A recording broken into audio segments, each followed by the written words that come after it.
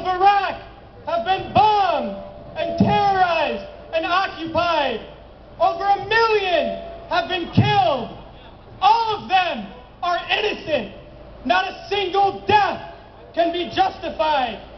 Eight years for the people of Afghanistan.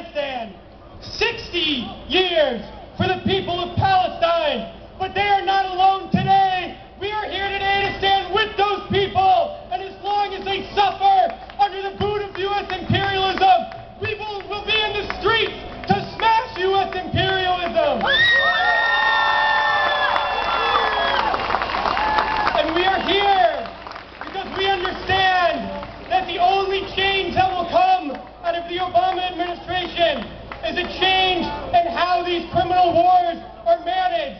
And whatever is done in foreign policy and domestic policy will be in the interest of Wall Street and the banks.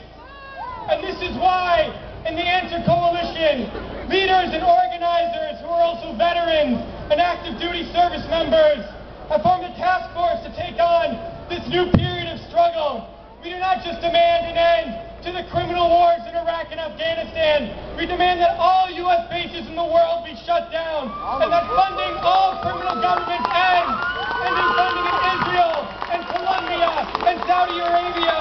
We demand an end to racism and sexism and homophobia and all forms of bigotry. We demand that all those involved in pursuing war for profit, the politicians, the CEOs, the lobbyists be indicted for war crimes, including the media outlets that acted as a mouthpiece for the Pentagon. And we demand that the money that is used to